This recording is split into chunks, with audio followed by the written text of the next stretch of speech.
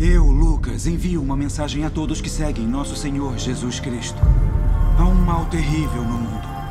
A escuridão está se espalhando.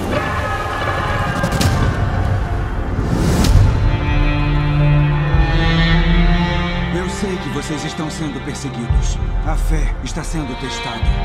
Eu sei que questionam o caminho. Mas eu vim a Roma para encontrar Paulo, para escrever a história dele, para trazer esperança, para trazer luz à escuridão atual.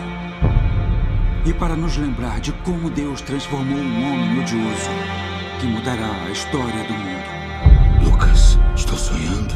Eu estou aqui.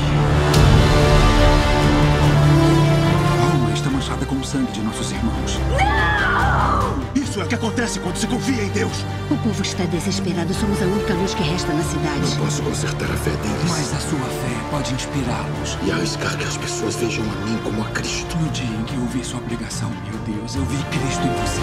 Há homens, mulheres e crianças que nunca vão conhecê-lo. É preciso haver um relato manuscrito dos seus atos.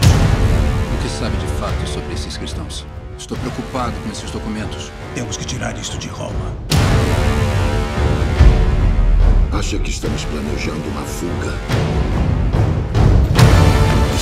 Uma única palavra minha e mando você para o Deus que quiser. Lucas! Eles reuniram homens para derrubar Roma. O que fim?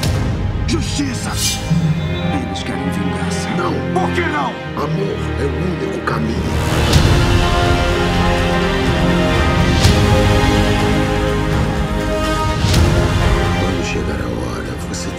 força para fazer o que é certo.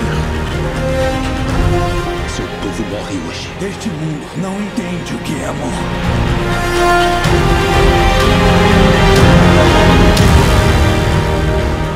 Onde aumentou o pecado, transbordou a graça.